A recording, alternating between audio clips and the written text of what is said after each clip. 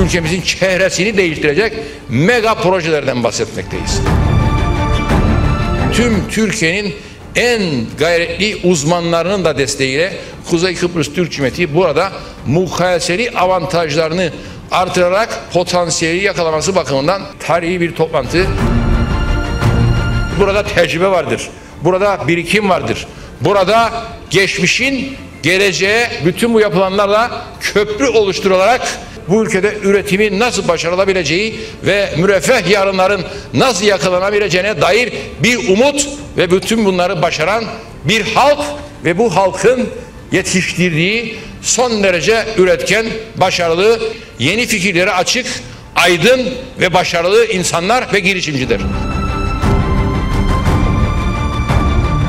Kuzey Kıbrıs Türk Cumhuriyeti siyasi ambargolar ve izolasyonlara rağmen bütün bu çalışmalarda mega projelerde gerek su projesi gerek elektrik ve kablo projesi bütün bunların bizlere verdiği o özgüven Kuzey Kıbrıs Türk Cumhuriyeti'nin artan marka değeriyle yatırım ikliminin iyileştirilmesiyle yan sektörler ve elbette tanrılığa giden yol.